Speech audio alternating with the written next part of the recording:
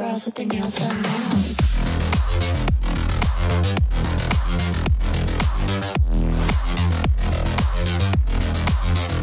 Girls with their nails done. I girls with their nails done.